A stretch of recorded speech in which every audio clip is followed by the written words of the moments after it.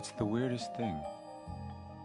I feel like I've been in a coma for about 20 years, and I'm just now waking up.